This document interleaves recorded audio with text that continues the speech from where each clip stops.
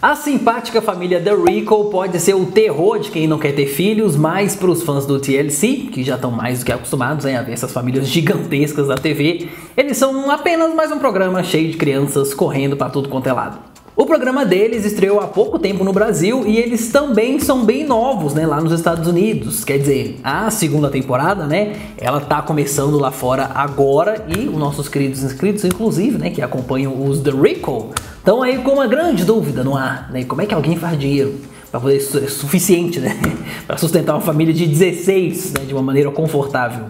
Pois é, mas antes de começar o vídeo, deixe o seu like e inscreva-se para receber notificações de conteúdos novos assim que eles são postados. Siga também nosso Instagram, arroba YNewsOficial e considere se tornar um membro aqui do canal. Ora só, por que não?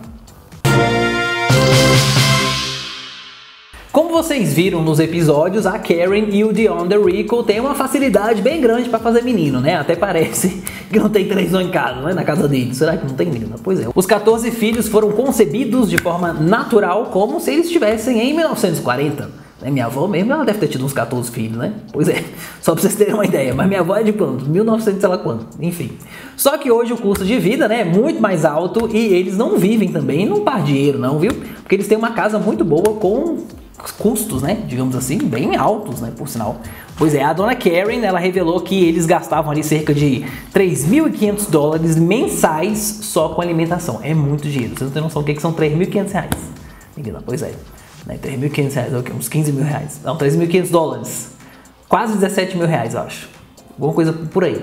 Enfim, né? Agora pensa nos outros custos, né? Porque tem telefone, tem luz, combustível, roupa, escola, né? Escola não, escola é coisa pública, mas enfim, né? Hospital, né? Custo com saúde, imagina. Pois é.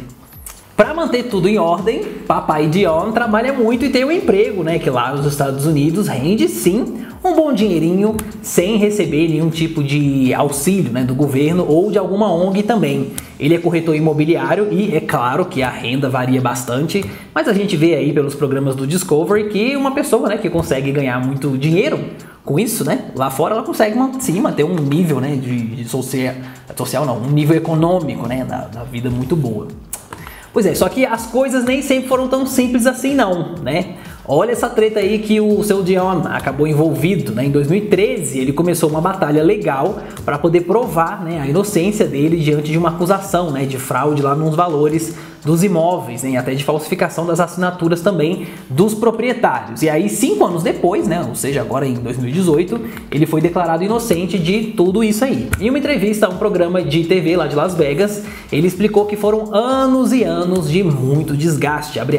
Espero que ninguém tenha que passar pelo que eu passei. Esse tipo de coisa leva as pessoas ao limite e é muito estresse. No começo, fui levado a acreditar que na verdade as acusações nem se tratavam de mim, mas a melhor maneira de se defender é não falar nada e pedir a um advogado. Sei que virei alvo só porque eu tinha notoriedade, fecha aspas. Além de mais fama que poderia ajudar no emprego dele também, né? Ele conta aí com um gordo pagamento, digamos assim, pelo menos. Eu sei que os Busbys e os Waldrop, eles embolsam um bom valor, né? E tem. Ainda bem, né? Imagino que com os The Rico também não seja diferente, porque imagina, né? É nada mais do que justo.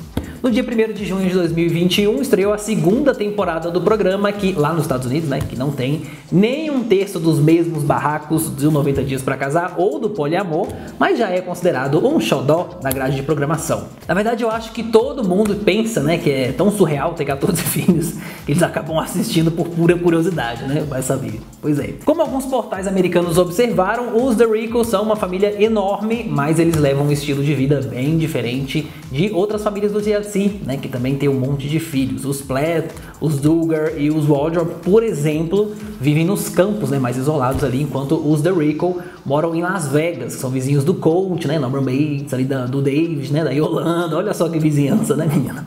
Que coisa, hein? Mas e você? Você é fã deles ou é do grupo que tem a gastura? Só de imaginar, uma mãe com 14 meninos para criar. Pois é, né? Deixe sua opinião aí nos comentários antes de sair. Deixe também o seu like inscreva-se no canal para receber mais vídeos. Um beijo, um queijo e até a próxima.